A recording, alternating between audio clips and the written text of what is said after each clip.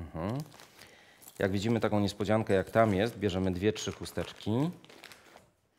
Tak? I ogrzewamy chusteczki w ręku. O tak. Szczególnie przy tak baraszkującym nogami dziecku musimy sobie zabezpieczyć teren zmiany pieluchy.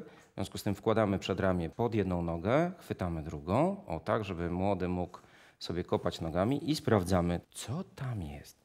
Jo!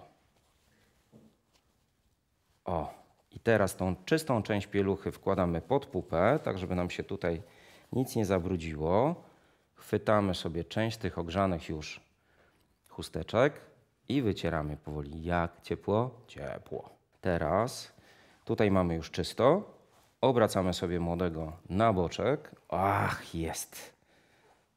Obracamy na drugą stronę, zamieniamy ręce, przedramię pod jedną nogą, chwytamy drugą, możliwie blisko, przekręcamy Ignacego na drugą stronę, czyścimy. O, super ekstra. Wkładamy sobie chusteczkę do pieluszki, robimy zgrabny pakiecik, pakiecik ląduje w koszu. Teraz temat może mało estetyczny, ale za to bardzo ważny. Na co powinniśmy zwrócić uwagę, jak zmieniamy pieluchę dziecku? żeby było miło i sucho, e, żeby było komfortowo. To jest przede wszystkim. Dlatego, że mm, no bardzo często wycieramy pupę e, jakimiś zimnymi chusteczkami czy, e, czy zimną. No one są po prostu mokre, tak? Są mokre, ale są też zimne. W związku z tym powinniśmy uważać też na, na takie aspekty zmiany pieluchy, wcale nie takie nieistotne. Natomiast y, to, na co powinniśmy najbardziej zwracać uwagę, szczególnie na samym początku życia dziecka, u noworodka, u wczesnego niemowlęcia, to jest na bezpieczeństwo To znaczy, czyli bezpieczeństwo stawów biodrowych. Nie wolno ciągnąć za nogi nigdy, tylko zazwyczaj układamy rękę na podbrzuszu, asekurując jedną i drugą nogę i wtedy delikatnie w trakcie zmiany pieluchy przekręcamy dziecko na jedną i na drugą stronę.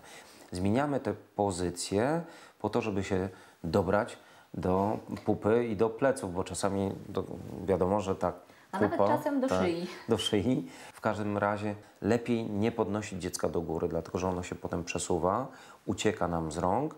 No i wiadomo, że czasami jak coś jest takiego bardziej twardego w tej pieluszce, to się może rozbryzgać, rozsypać dookoła. Lepiej tego nie robić. Także dobra technika e, trzymania dziecka w trakcie zmiany pieluchy.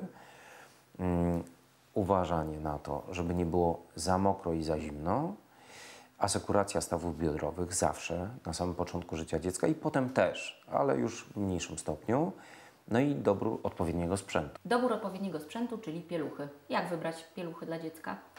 A tutaj też musimy się dostosować do warunków, w jakich e, funkcjonujemy, a w zasadzie tak naprawdę do tego, i- jakim bobasem jest nasze dziecko, bo są dzieci długie i chude i są dzieci takie bardziej obłe, wypasione, tak?